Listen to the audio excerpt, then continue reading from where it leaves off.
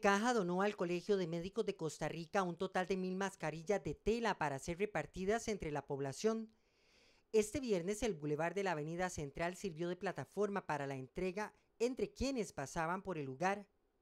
El sector salud ha sido enfático e insiste a la población que el uso de la mascarilla es una de las herramientas indispensables para declararle la guerra al COVID-19. Toda la parte médica ya está hecha. Hemos, los médicos hemos hecho hasta lo imposible por eh, sostener esta pandemia, pero ahora le toca a la población. ¿Y qué tiene que hacer la población? Cosas muy sencillas, usar una mascarilla que se las estamos dando para la gente que no puede comprarla, usar el, eh, el lavado de manos, el distanciamiento social, porque si no lo hacemos, las consecuencias de esta pandemia van a ser enormes. La idea de nosotros es irnos a diferentes lugares hasta que convenzamos al último costarricense que existe en este país de que tenemos que usar mascarilla y usarla adecuadamente.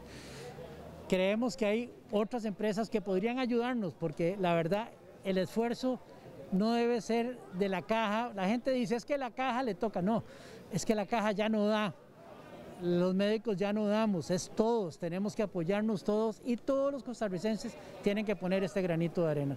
Adicionalmente, el Caja donó mascarillas y alcohol en gel a la Caja Costarricense del Seguro Social para aliviar un tanto la carga económica de la adquisición que esto representa. En Copecaja queremos aportar en la lucha contra la pandemia, que es, eh, es una lucha de todos los días y que va para largo. Entonces, con esta alianza que hicimos con el Colegio de, México, de Médicos, donándole no solo al colegio para los médicos y su protección, mascarillas y alcohol en gel, sino también eh, nos vinimos para la calle a repartirle mascarillas a aquellas personas que son las que más lo necesitan, ¿verdad? Esta vez fue el bulevar de la Avenida Central donde transeúntes se beneficiaron pero se espera hacer la misma dinámica en otras provincias.